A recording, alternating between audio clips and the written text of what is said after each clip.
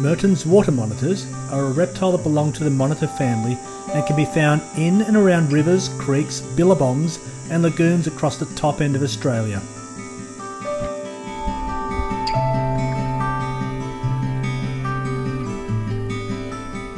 These monitors are excellent swimmers and they have a special valve in their nostril that closes when they dive, allowing them to swim underwater with great ease.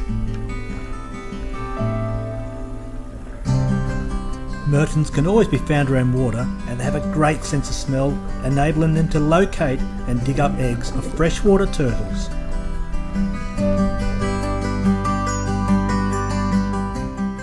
Unlike their much larger cousin the lace monitor, Mertens can grow up to a metre long and weigh up to 380 grams.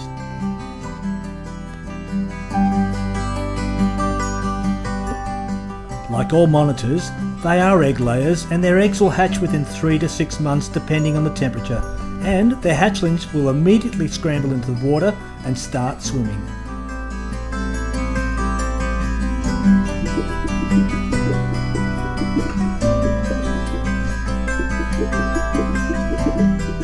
Their diet is pretty extensive and will include things such as frogs, fish, crabs, and small mammals.